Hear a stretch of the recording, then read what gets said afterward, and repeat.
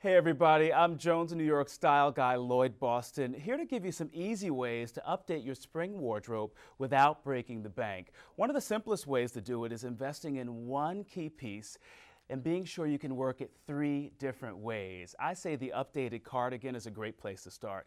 Notice here on Pearl, it's a great color and we did it on top of a floral tee with a great pair of gauzy linen pants. Take it from the office straight into the weekend. You can take that same piece and wear it in a modern way. Now, modern means you're going to give shape to it by belting it and placing it on top of a crisp white shirt and your favorite pencil skirt. Notice here that gives you the corner office vibe.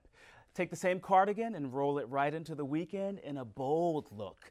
Bold means tying it on its own, doing it with your best denim and a simple shell that you probably have in your closet. You can do it with flats or heels and you're out the door. Now, again, for spring, some of the key pieces you might want to think about are bold jackets in bright colors that offer texture. It's a great way to wake up everything that's already in your closet, as well as prints, graphic prints, animal prints. You can put those together with jackets or wear them solo, and it's a great way to kick up things you already own. Now, speaking of women who want to get the most out of their closets, the best way to look amazing from day into evening is what we call knit dressing. Notice here, this knit cardigan has great contrast seaming, which will give you the shape of a jacket, but the feel of a cozy sweater.